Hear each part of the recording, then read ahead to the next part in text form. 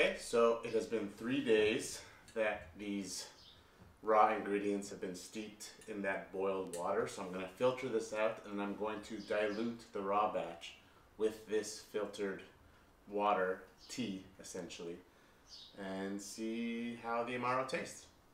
I'm also going to dilute it down with a little bit of sweetener, but it's going to be predominantly water, a little bit of sweetener.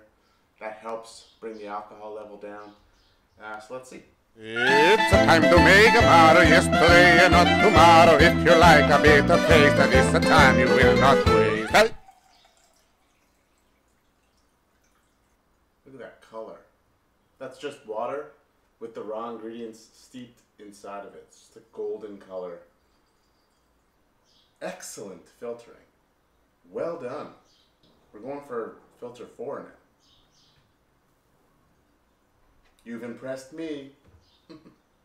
Say thank you to your herbs and roots and leaves. Thank you very much. I have a good feeling about you. Filter slowing down. Wow, starting to starting to hurt. I get it. Yeah, four and a half runs. That's a new personal record on the RTP scale. This filter, RTP level, ten. Came to party, partied the whole party, stayed after everyone went to bed, helped clean up, made breakfast, gave me a kiss. Mm. Thank you, filter. There's a lot of birds that live in the tree right outside our home. Hello, birds. Let's do the old transfer. Feel the lines for the RTP. Sniff test. Bland.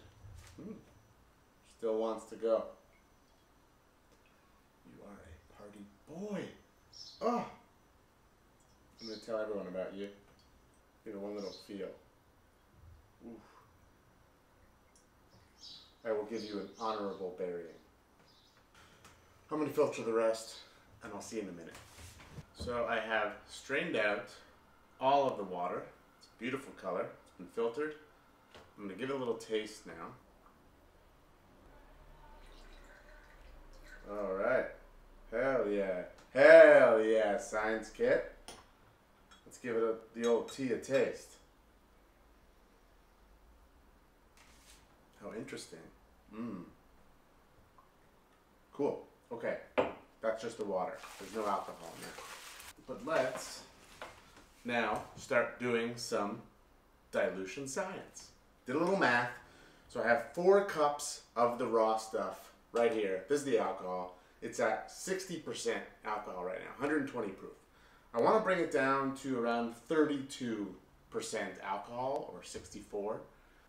Arbitrary number. A lot of the Amaro that I like is a bit on the higher end of the Amaro spectrum. They usually range from like 20 to 40-ish, low 40s. I'm gonna go for like a mid 30s, low 30s, just to. I think that's like a good entry level um, potency level. In order to get it down to that 32% level, I need, for the four cups, I need 3.25 cups of dilution to bring it down from 60% to 32%. I also need to figure out the balance between water and sweetener. So I think a two to one ratio of water to sweetener is where I'm gonna go, or just around two to one. So 2.25 cups of water and one cup of sweetener. I think that's my move. That's one cup. Let's give it an old taste. Stir it.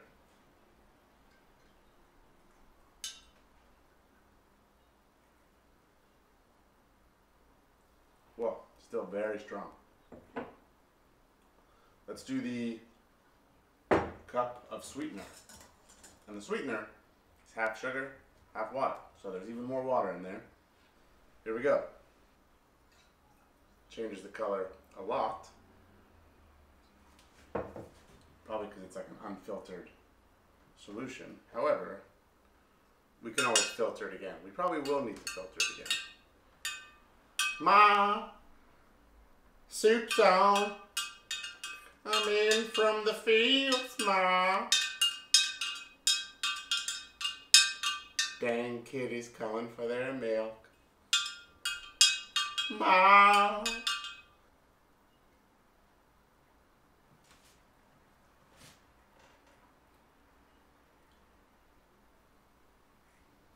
Hmm. That's all the sweetness I want. I'm already getting that like feeling. Stopping with that. It's a very interesting color.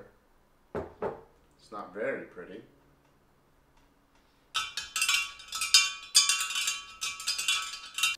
David Bly, the Bill Nye of cocktail science. Hello. These are fun.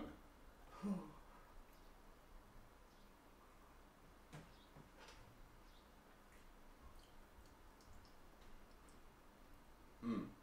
Not as citrusy as the other batch, but that's because of the Brussels sprout. Because right now it's at about like a 35, 36 percent alcohol, which is in that range, that healthy range of Amari. But um, try the light cube.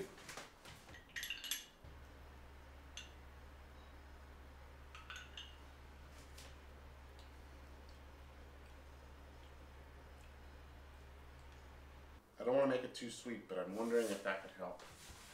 So let's do one ounce of simple and one ounce of the water.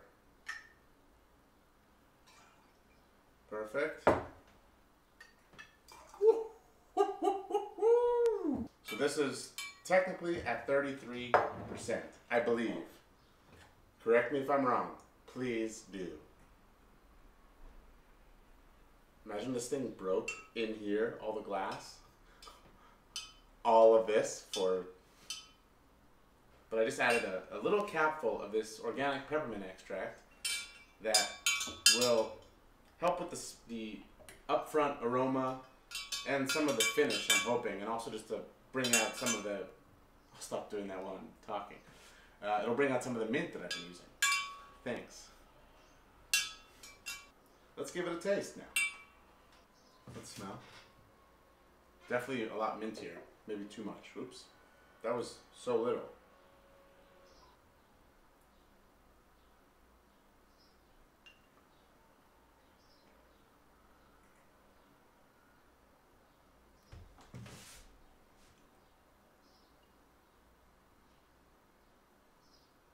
That's nice. This is on the much bitter end. This is a 33% Amaro, which is on the higher end, considering a lot of the entry ones are around 20%. It's a high alcohol level for an Amaro. It's quite bitter. This is not an entry level Amaro, but I think this is a good Amaro.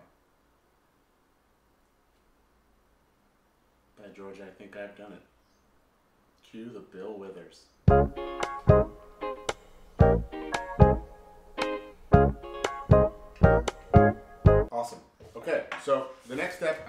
Sit for a couple days, see if anything happens. Let the mint actually like settle in, and then I want to filter it out one more time.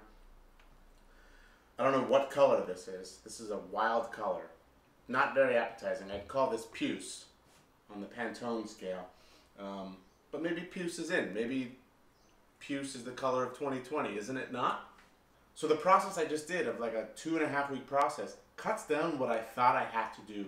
Those early videos, I was thinking I had to le- like, let it steep for months to years at a time, and that the aging process was part of the cachet of an Amaro, which perhaps, but not necessarily. And if I can make an equally good Amaro, arguably even more drinkable in more than half the time, great. That means I can just be churning out batches left and right.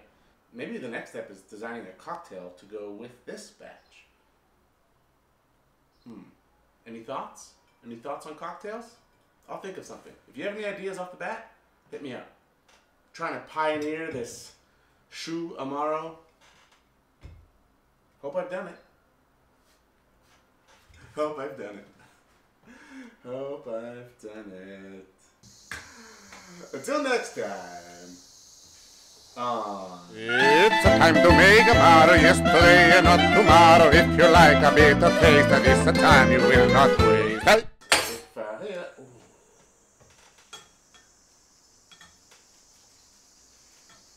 Well, I've only got three of these pipettes now.